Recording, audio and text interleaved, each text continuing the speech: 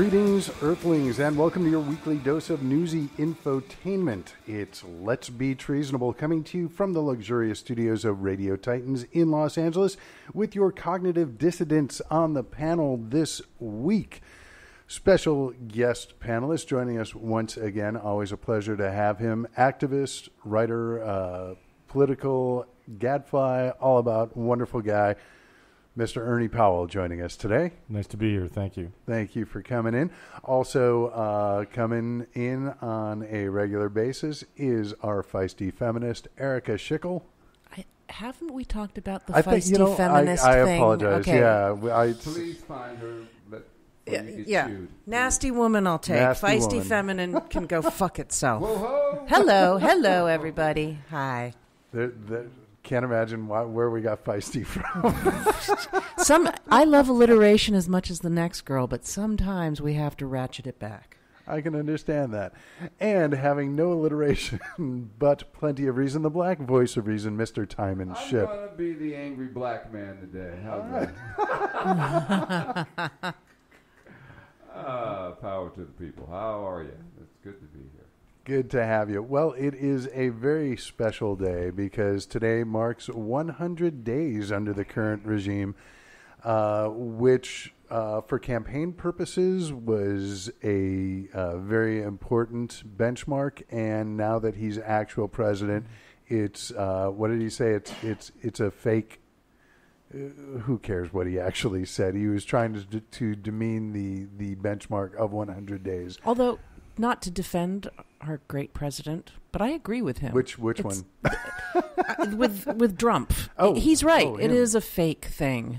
It all right. It I I can understand that perspective, but you know when you campaign on what you're going to do, Do in the first, hundred days. No, I, I'm I'm all about getting. you can't I- then when yeah. when those hundred days are are coming you know to a close, you can't say well it's it's no, a I bullshit don't believe standard. in it anymore. Yeah, no, I agree. But still, we're well, just gonna. and, and basically, all they're doing, they sit back, they listen to what he says, and then they stick him with his own stuff. Yeah. That's all you're doing. Yeah, that's like, right. hey, No, no, no, I'm- I'm- yeah. I'm, I'm with you. I'm just saying it, it sounds great, but he really sticks his foot in his mouth every time. He really says, does. Yeah. Yeah. So it's his first hundred days. Hey, F. Ernie, your thoughts? Have a thought, Ernie, Mr. Powell. Yeah, it's a false measure. It's a false. I mean, he's he's um, he's dramatically failing, and he's also lied so much and broken so many promises. You know, one thing I was. Uh, somebody gave me a different perspective the other day on the th- on the three million count, and that is that the three million count was the count for those in the states. In other words, Hillary, Hillary Clinton received three million more votes. But if you really think about whether or not he had an electoral mandate, number one, it's it's interesting to consider the three million dollar, three million vote difference. But then if you count um, people that voted for third parties or didn't vote at all in the presidential election, that number gets to ten million. So the concept of whether or not he's got a, a, a mandate for his policies, number one, he's violated his own promises because he's he's going he he is he is making the moves or setting up the capacity to ruin Medicare and Medicaid, and also setting up the capacity to do harm to Social Security. And if you add to that the fact that his mandate, if you t- if you look at the totality of voters that didn't vote for him, adds up to more than three million. If you count the folks that voted third party or didn't vote at all, Mm. which gets you about to ten million.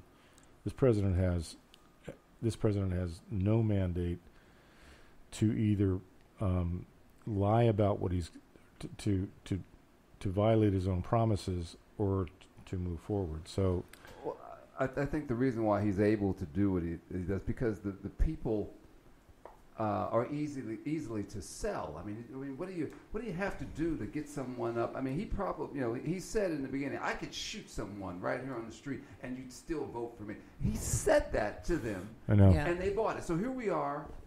Even he couldn't believe it. Hey, I told you guys, guess what? Hey, I'm president. Can you believe it? Yeah, we're sitting there going, and, and that's what Bill Maher was saying. We've been conned.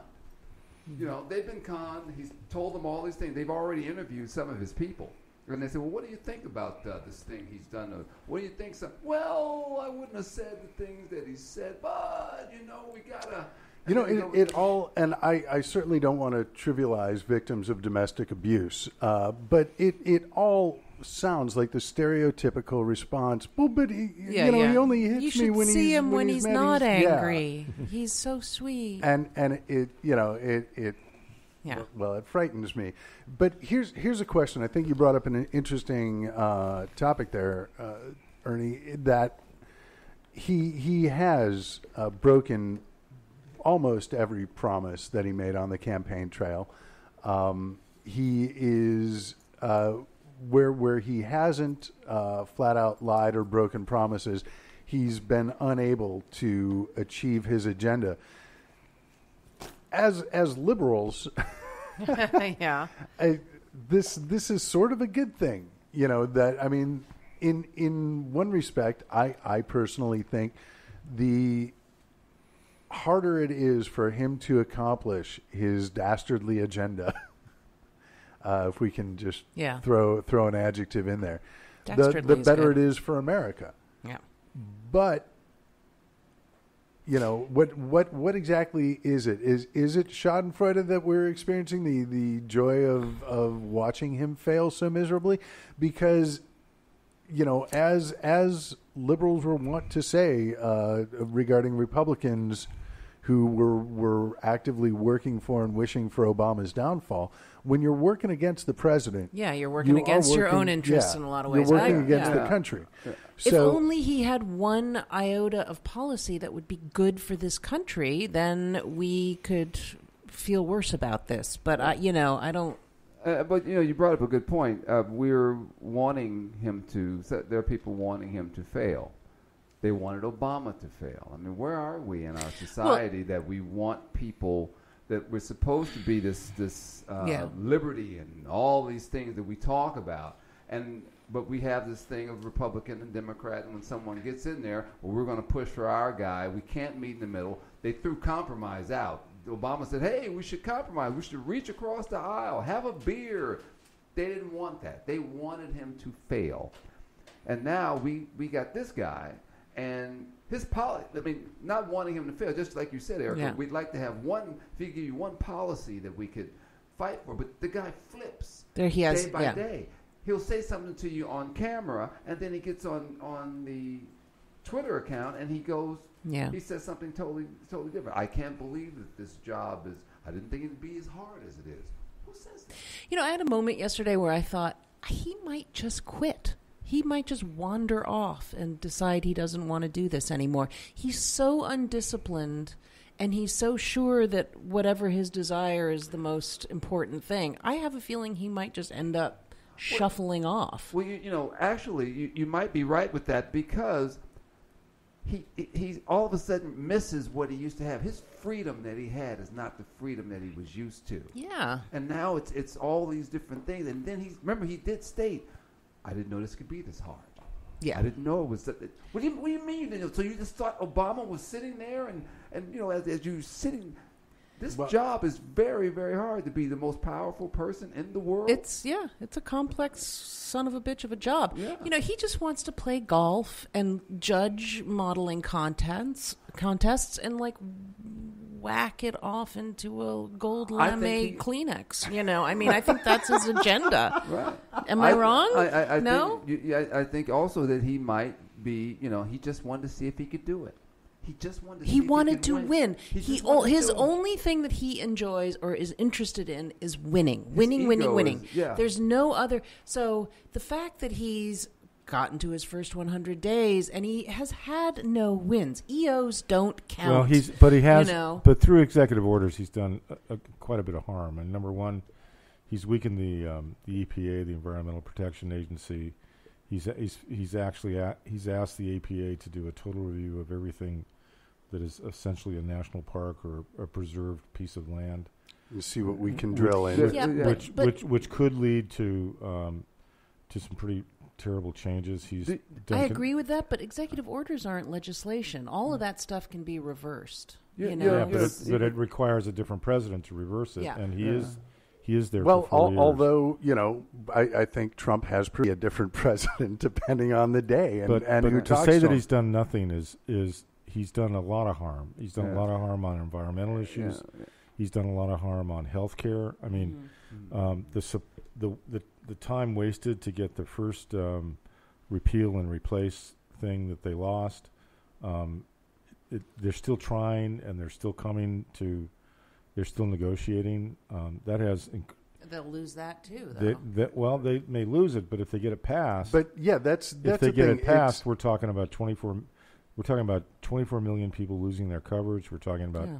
Seventeen. The, the one estimate that was under that was under the original plan. Under the, under the new plan, even more people are going to lose worse. their coverage. one worse. estimate was that seventeen thousand people will actually die the first year. Then tell me something. Why why is it in a in a country of what we have that we cannot have health care? Why can't we have affordable health care in this country as massive as we are, as innovative as we are? Well, Because healthcare executives Yeah, need that's a- multiple houses. It's the medical system, it's the insurance agencies, it's capitalism. I mean, it's not here to serve people, it's here to serve the purveyors of insurance and healthcare. so humanity is gone. Is that what you- humanity really is it- gone. Yeah, it's yes, just I mean, done. so, I Nobody's mean, interested. Nobody currently in power has any interest in doing anything for the citizenry. It's all about So where is the funneling. democracy then? Where is this we are so-called? no longer uh, in one of those. Are we a republic now? We're a republic, or we've Uh, always been a republic? We've never been. Well, a- we've always been a republic, but we're we're you know it's a it's a well, for sure it's a kleptocracy. I I don't know what the official Ernie. Maybe you can chime in here. What do we call this mess that we're living in? It's not democracy, is it? It is a representative democracy, and it, but it also depends on who wins and who loses. And we, in fact, is we do have health care. We passed it in 2009. Mm-hmm. Before we passed what we passed in 2009, we had um, health care for uh, um, for seniors and persons with disabilities. So we've made it considerable progress. What Yeah. Trump is trying to do is reverse that progress. But that health care is almost like a cable bill. It continuously continuously goes up. Why is it that we continuously make it harder and harder? Even the people who no, fight for this I- th- country. that's a generalization that just doesn't fly. I mean, the fact is, it goes up in those states that chose not to Yeah. engage in Medicaid expansion. So you have states like Oklahoma and Texas where you only have one or two providers, but you have other states like California where you've got genuine market competition Okay. for Medicaid. Okay, well look at that. You have you have different states where people are. I'm I'm saying that, that you have different states who are saying, well, I'm gonna. We don't want that. Well, we want this, or you know. The, my thing is, it should be that that poor bastard sitting over in in Oklahoma with no teeth in his head should have a a, a whether his uh, governor or whoever is doing it, it should be some kind of way to mandate that these guys make sure that these people can have something that they can afford and real and continuously to afford. When my mother passed of a stroke, the hardest thing we had was trying to get to to take care of the Medicaid and make sure all these things and there's certain things you couldn't have and then you had to get rid of money because when you're when you when you are collecting money you have to be able to get rid of the money to make sure that she can collect the Medicaid. So there are certain things that about that that you know I just think that there should be a better way than what we have. Even though they do have it, it's got to be a better you know, way. I just I, back to the framework of the hundred days thing. You know, I mean, I totally take your point, Ernie, but I think that you know, just for the sake of this conversation, if we look at the hundred days, yes, he's doing a lot of harm, but and in on the an environmental level, that could be permanent because, as we know, that's not a, f- a flexible system. Um, but he lost. He his healthcare p- bill didn't go through. He, everything, all of the major things he's tried to do on healthcare and immigration have all been failures. and I think we should again, just take again, some he's heart let in that. loose. He's let. I mean, the the ICE. There, there are fewer incoming immigrants. There's been more Mm-hmm. deportations. Families have been split up. Number one, number two. It goes beyond environmental stuff. He's weakened Dodd Frank through Yeah. through again his executive orders. Um, he's told the Dodd Frank regulators to back off on a lot of that kind of stuff. We're talking about um, um, other weakenings Yeah. in terms of the criminal justice system. So the the president, as a as a as Entity. part of a three s- as as as part of the system of government,